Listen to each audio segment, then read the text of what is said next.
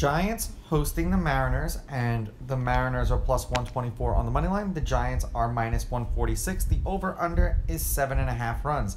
The Mariners getting a run and a half on the run line are minus 182, meaning if you bet them that way and they win this game outright, you win. They lose by one, you win.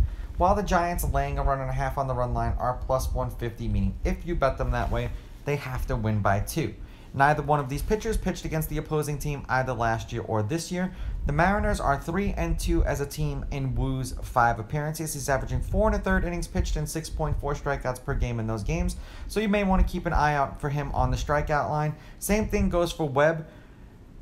He hasn't pitched against the Mariners.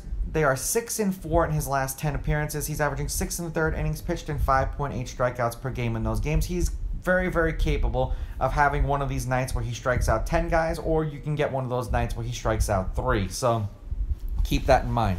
Head to head, the home team is 6 and 4, the Giants are 7 and 3. The favorite is 6 and 4 on the money line. However, the underdog has won the last three games. The underdog is 6 and 4 on the money line. The underdog getting a run and a half on the run line is 6 and 4. There have been four one run games in their last 10 meetings, one in their last three. The over is six and three in their last uh, 10 appearances. One game actually did not have an over under. And the over seven and a half runs is seven and three in their last 10.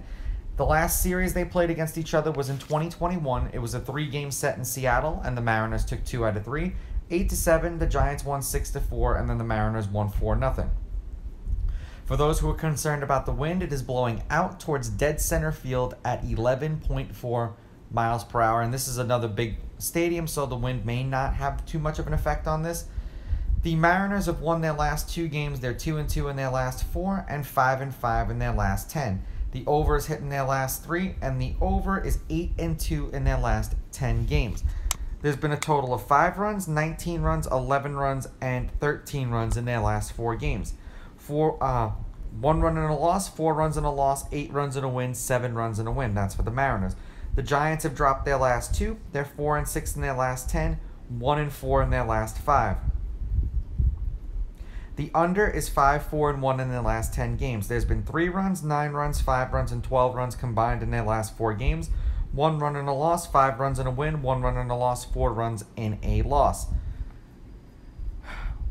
I picked again. I keep picking against Woo, and he keeps kind of sticking it to me, but I trust Webb a little bit more in this situation, especially at home. I'm going to take the Giants with the money line. I'm going to take the Giants laying the runs, and I'm going to go over. But I picked against the Mariners when they were playing a better team in the Rays, and they stuck that up my, well, you know the expression. These are just my picks. If you disagree, please go with your gut, and please bet responsibly.